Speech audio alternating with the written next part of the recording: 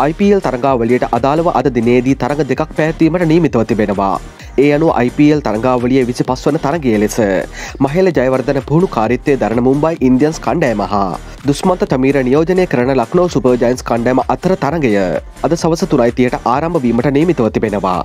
බොහෝ දෙනාගේ කතාබහට ලක්වෙමින් IPL ඉතිහාසය සාර්ථකම කණ්ඩෑම ලෙසින් සැලකෙන මුම්බයි කණ්ඩෑම මේ වන විට සහභාගී වී ඇති තරඟ පහම පරාජයවී ප්‍රසාද ලකුණු සටහනේ අවසන් නිස්ථානය පසු වනවා. මෙවර තරගාවලියට පළමු වතාවට එක් වූ ලක්නව කණ්ඩෑම ප්‍රසාද ලකුණු සටහනේ පස්වන ස්ථානය පසු වන්නේ සහභාගී වන තරඟ පහෙන් තරග තුනත් ජයග්‍රහණය කරමින්.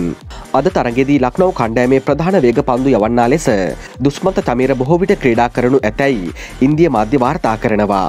මේ අතර අද දිනේදී පැත්තෙන අනෙක් තරගේ වනිදු හසරංග නියෝජනය කරන RCB කණ්ඩෑම සහ දිල්ලි කැපිටල්ස් කණ්ඩෑම අතර තරගය මෙවර තරගවාරය විසි හත්වන තරගේ ලෙස අද රාත්‍රී හතයිතියට පැත්වීමට නේමිතයි. වනිදු හසරංග අද RCB කණ්ඩෑමේ ප්‍රධාන දග පන්දු යවන්නා ලෙස ක්‍රීඩා කරනු ඇති.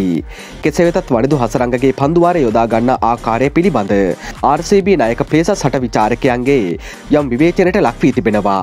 තරගේ මුල් පන්දුවාර හය තුළදී වනිදු හසරංග පසුගේ පසුගේ තරගේ දීද යොදා නොගැනීම හා ප්‍රධාන දග පන්දු යවන්නා ලෙස පන්දුවාර හතරම ඔහුට ලබා නොදීම මේට හේතුවයි.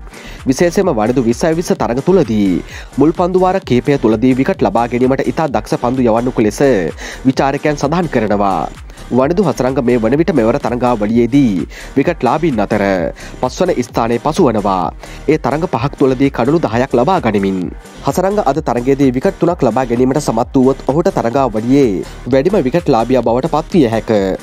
පැම් පෑ අලුත්තන දෙස් දෙස් ක්‍රිකට් පිටියේ අලුත්ම ක්‍රිකත් තොරතුරු ඔබට දැන ගැනීමට නම් ක්‍රිකට් ලෝකයා YouTube නාලිකාව සබස්ක්‍රයිබ් කර බෙල් සලකුණ කලික් කරන්න.